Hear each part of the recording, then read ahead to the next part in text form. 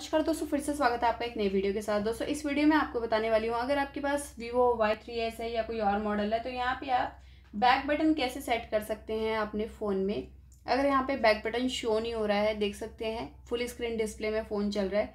तो back button set करने के लिए आप चले जाएँगे सेटिंग पे।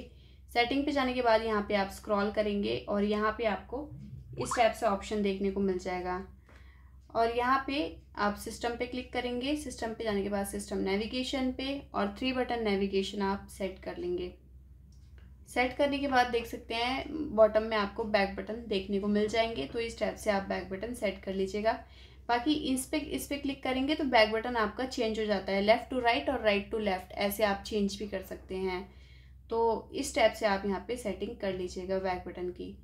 आई होप गए ये वीडियो आपको ज़रूर पसंद आया होगा। इसी टाइप के और भी इंटरेस्टिंग वीडियोस देखने के लिए चैनल विज़िट करते रहिएगा। चलिए मिलते हैं आपको एक नेक्स्ट वीडियो में, तब तक के लिए नमस्कार।